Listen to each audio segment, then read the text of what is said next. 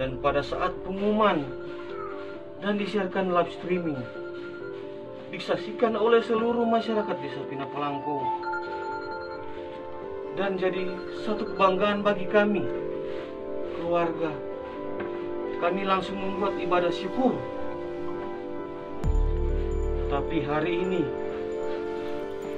tanggal 29 Juli 2021 kami menerima surat bahwa anak kami dinyatakan tidak lulus.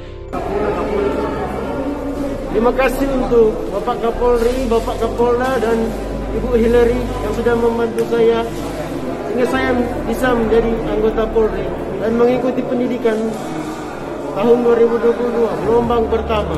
Siap. Terima kasih. Saya uh, Hilary Brigita Lasut. Dalam kesempatan ini uh, tentunya ingin mengucapkan selamat buat Rafael karena telah uh, bisa diterima menjadi anggota Polri.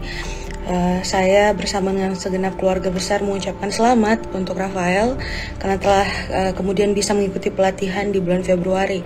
Uh, ada banyak sekali yang bertanya soal uh, bagaimana uh, Rafael ini kemudian bisa uh, diterima, siapa yang memperjuangkan dan lain sebagainya.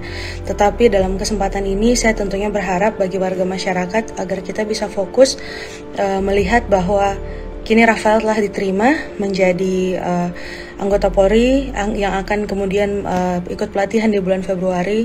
Saya tidak tidak uh, memaksakan untuk menunjukkan siapa yang berjuang karena bukan itu inti permasalahannya.